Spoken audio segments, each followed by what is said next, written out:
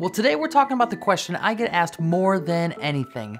How do I grade my EOS R log footage? And at the end of the video, we're gonna be talking about a giveaway for a Rode Video Micro. So stick around for that. Let's get into the video.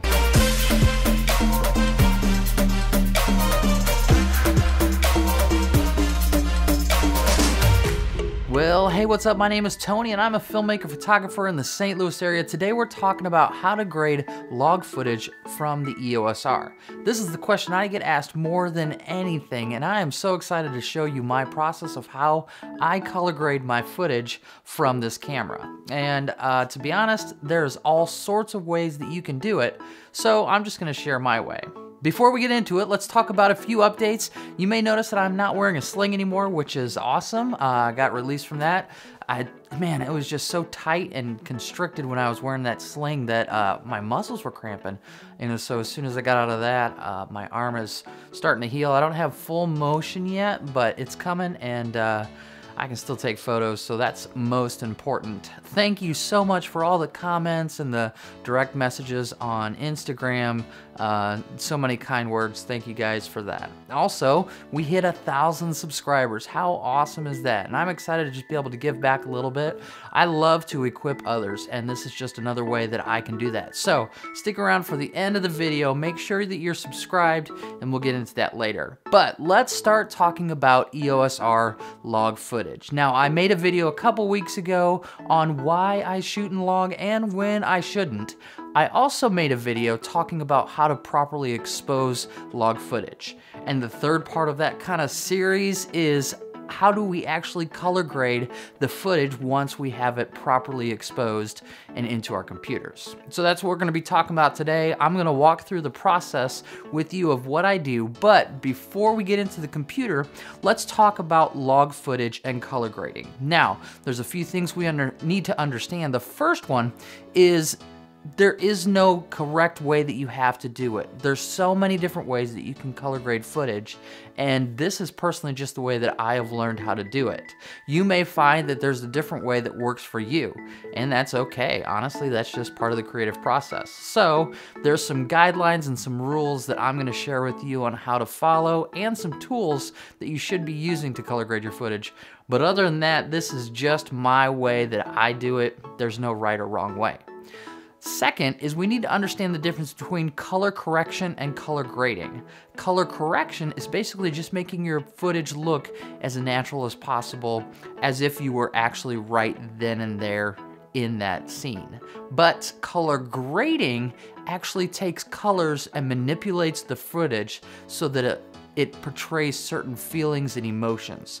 You'll see this done in films all over the place. And so I'm gonna talk to you about kind of how I will color grade my footage and how does uh, color correction work with all that. So those are the two basic things that we really needed to talk about before we start talking through how I color grade. Uh, so why don't we get into the computer and uh, we can go from there. All right, well, welcome to my computer. We're gonna talk through color grading EOSR log footage. Uh, I am in Premiere Pro, and uh, there's no way I can talk through everything because it'd be like a like a three-hour long video. But I want to give you just a good glimpse of the way that I color footage. It's not necessarily the right way, but um, it's a way. So uh, I've already created a, a, project. I've created a uh, sequence, and I've dropped some footage in here. We did uh, shoot an abandoned house uh, past couple days here, and so I've just got some really cool footage here. And you'll notice it's all shot in log. It's all flat. Uh, this one's a little bit more blue compared to the yellow. And so we're just going to have to figure out how to make this look good. Look at that snow coming down. It's a pretty epic shoot. So uh, let's see how we can make this footage look good. Now, uh, first thing we need to do is switch from the editing workspace to the color workspace and you just click here.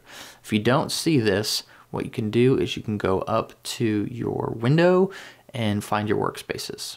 And then you can go to color and if it looks different, you hit reset to save layout and it'll boom, go to this. Uh, now the first thing you need to do is you need to pull up this tab right here called Lumetri Scopes.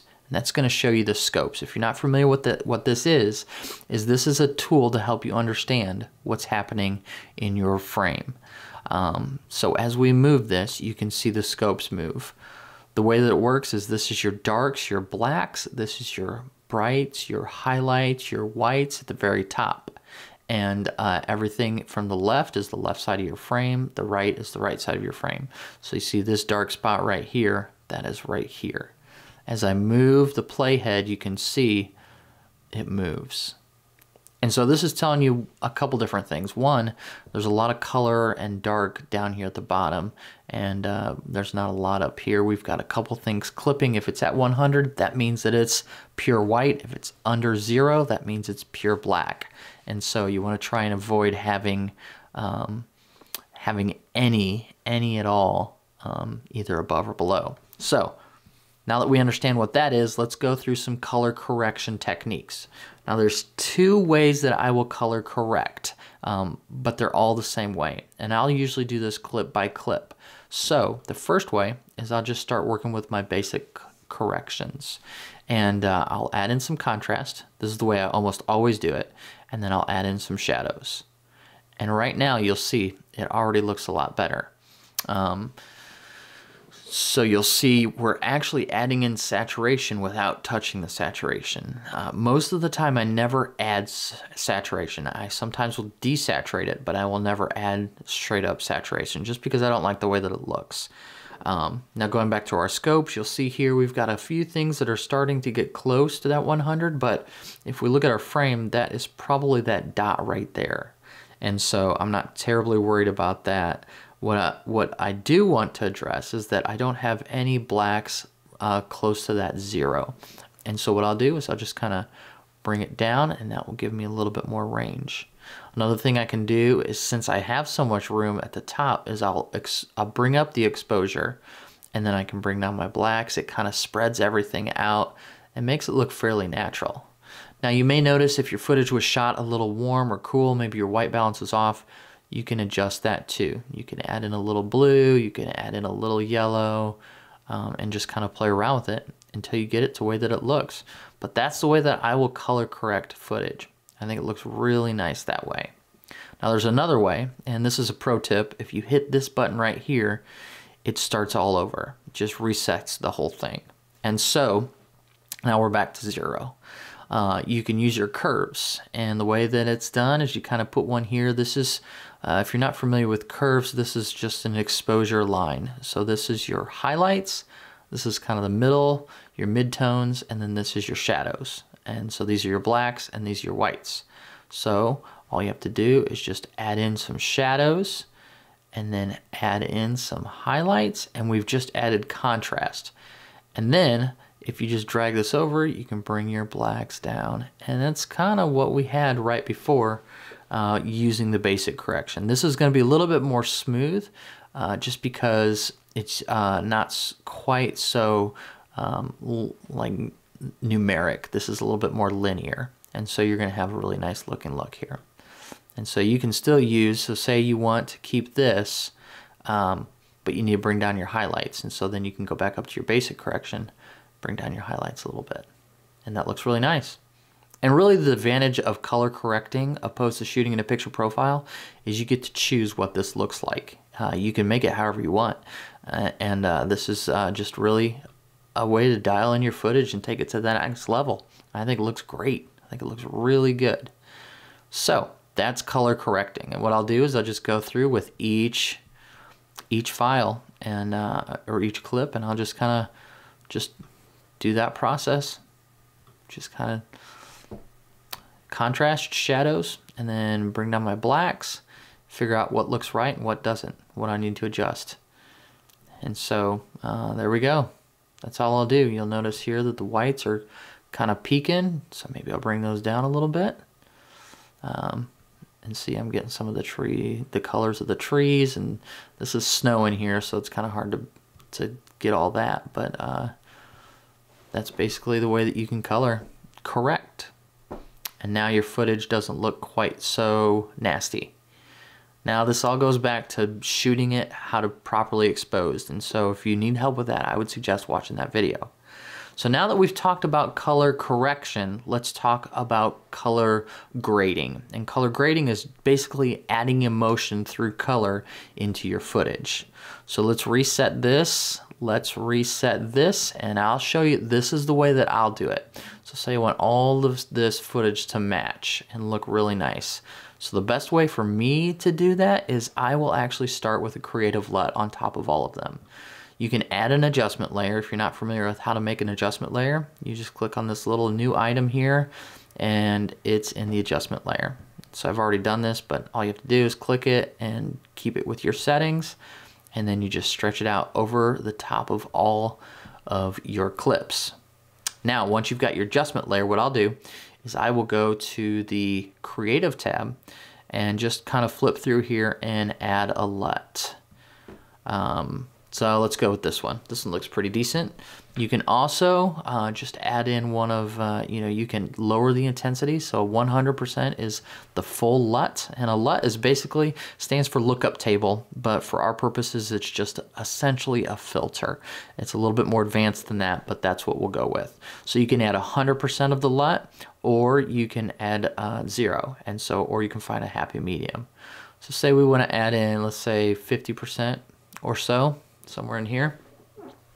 And then uh, what we can do is we can actually even uh, add some more correction on top of this adjustment layer, so on top of the LUT, to give it a little bit more definition. So now what we can see here is it's got a little bit of a stylized look to the shot. Now it still looks pretty good. What I would do is maybe crank down, but what I'm not gonna do is dial in a whole bunch of my settings on this adjustment layer. What I'll do is I'll kind of create a basic look that looks pretty good for most of them. Um, and then I'll go in and fine tune each and every one of these clips so that it matches. So see here, this one, uh, we'll kind of start with this one because it already looks pretty good. Uh, maybe what I'll do is I'll bring this up just a little bit and then bring down my shadows a little bit more, bring down my blacks. Got an email from Harbor Freight. Um, yeah, so that looks pretty good. Now this is our look. Now the way that we can always see this one is if you actually click on this right here, it will bring up a comparison view, which duplicates our, our window here. This is your reference window. This is the one that we're gonna be constantly coming back to. And this is the one where our, our playhead is at. So if I move the window or my playhead, you're gonna see it uh, the one on the left stays the same, that's our reference window, but this one moves. And so now we can kind of match it when we're looking at it right next to each other. Uh, so let's go ahead and uh, just kind of try and match up some of this footage. So this is a good shot to kind of match up here. Now you'll notice that this is a little blue, so the first thing I'll do is add in a little bit of yellow, maybe take out some of the pinks, and we're starting to get that same kind of look. The more that you do this, the better you're to get at it. So maybe add in some shadows. Another option that you can do is uh, instead of adjusting it manually, when you're in this reference mode, this comparison view, if you click on your clip and then you go down to your color wheels and matching, you can try and do an automatic match. And so if you hit this, you see what happens. Hey, that doesn't look terrible. Might be a little bit uh, deeper blacks. So what I'll do is I'll bring my blacks up. But other than that, I mean, that looks pretty decent. It looks pretty good. Uh, and we could probably roll with that. It still looks a little blue. So maybe I'd, I'd bring that up and bring down my purple. Uh, but yeah, so that's another way that you can do it. You can kind of play with that to see how it works. But that's an easy way to match the footage. It doesn't always work that great. We'll try it with this one. It probably won't work as well. Yeah, doesn't look terrible. Actually looks pretty good. So that's an easy way once you get your, your main look. Now it's referencing to match. It's referencing this window. So if you move this to somewhere else, it's going to reference somewhere else. So that one we haven't done yet. It's a little bit flatter. Um, we'll go back to this guy holding the camera. And we'll move on to that one and see what happens. Let's do this one here. We'll hit apply match, see what it looks like. Doesn't look terrible. So that's an easy way to do it. But you know what's happening, so you can adjust it if that doesn't work. Let's try another one, maybe this one. Let's see, this one probably won't work as well. Let's try it here. Eh, doesn't look terrible. Probably a little contrasty compared to the other one, and it's really dark. So what you can do is you can bring it up, you can bring it down a little bit here. I would actually probably lower the contrast. And then another thing, this is a little quick tip. You'll see this uh, red piece of tape that I put on all my cameras. Uh, let's try and get rid of that. So what we can do is we can go down to the curves, click on this little color picker, and actually just select that color. Now on this on this um, color line, it, it selects the left side, it selects the right side, and this is kind of the color. And so I'll just kind of bring it down and get rid of that color. So now when we play it, that color doesn't stick out nearly as much as it did when it was bright. And then it goes to the next one. So we're already looking pretty good here. This is uh, just this kind of the process that I go through to, to color grade my footage. May not be the best, but that's the way that I've come up with, and uh, I'll just kind of keep playing with the footage until it is how I like it. Yep, maybe I'd bring that up a little bit. It was looking a little dark. You can see that snow falling in the background there. Looks so cool. Let's see what uh, this one. So once again, you just kind of play around uh, with with how it looks. You can try this matching. Sometimes it works, sometimes it just doesn't. But uh, right now it's looking pretty good. Kind of like the way that these are all coming together. So maybe bring up the shadows a little bit. And see, this is the beauty of color grading is you're controlling uh, what the footage looks like. And we're going with pretty, you know, high contrast. There's lots of whites, there's lots of darks. It's kind of moody. Um, I'm not adding in saturation, just kind of playing around with, with my coloring. And then we'll go to this one. This is going to be the worst one. Let's let's see what happens when we hit the color matching on this one. See, he's in the shadows and he's got a lot more saturation. So let's do this one manually real quick. This is the last one, and then we will kind of land the plane here. So uh, we'll add in some contrast. We'll add in some shadows, and right away we're seeing he's sitting in the shadows. So how can we combat this? Well, we can raise the overall exposure, and what that's doing is it's starting to, to clip the back. So uh, let's take some of these whites and bring them down, maybe bring some of these highlights, and bring up some of these shadows. And so it's starting to look a little bit flatter because everything is moving towards the center. So now let's bring down our blacks and uh, we're getting there. We're starting to see it. And I'm just kind of matching, matching what's happening. Uh, let's take off the comparison. We can kind of see what he looks like here. So now you'll notice, now that we've got the bigger screen, um, it's got some weird things going on with his face here. It looks like there's some, some yellows. And that that might just be because we're pushing the footage past its limits. And so what I would do is I go back to our curves here and I would click on uh, just kind of this yellow skin tone that looks a little weird and I just pull some of that down, get rid of some of that extra yellow. I think it looks a little bit more natural like that. You don't want to do it too much because you don't want to look black and white. But he's looking good. Maybe add in a little bit more contrast. We just keep going with it. All we're trying to do is just protect him uh, to make him look good and match the other footage. So you'll see here we're just barely, barely pushing our blacks into there and our whites are up here. So everything is still protected. And uh, then we'll just kind of see how does this match the rest of the footage. And we'll just keep going. I think it looks pretty good. So that's basically how I color grade.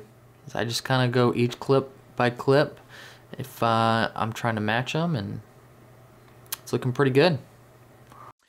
Well, hopefully this tutorial has been very helpful for you. Honestly though, the best way to get better at coloring footage is to just do it.